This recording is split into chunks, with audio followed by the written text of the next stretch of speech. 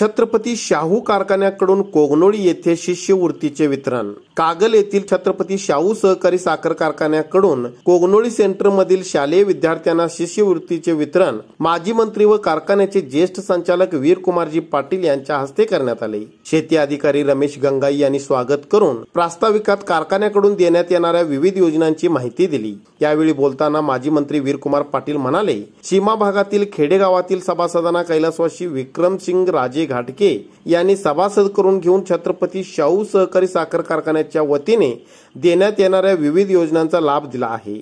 त्याचप्रमाणे चेअरमन समरजित सिंग घाटगे यांनी सीमा भागातील शेतकऱ्यांच्यासाठी विविध योजना राबवून त्या अंमलात आणल्या आहेत. शाहू कारखान्याच्या माध्यमातून सीमा भागात शेतीसाठी अनेक उपाययोजना राबविल्याने सभासद आज आर्थिक सक्षम बनले आहेत. यावेळी बाबुराव कग्गुडे पारुईसा मानगावे केशव पाटील ग्रामपंचायत सदस्य युवराज कोळी दिलीप पाटील संजय पाटील अनिल चौगुले तात्यासाहेब कागले बाळासाहेब कागले आप्पासाहेब खोत तानाजी वाळके प्रकाश कदम दादासाहेब मानगावे यांच्यासह ग्रामपंचायत सदस्य विविध सेवा संस्थांचे पदाधिकारी छत्रपती शाहू सहकारी साखर कारखान्याचे सभासद ग्रामस्थ मोठ्या संख्येने उपस्थित होते.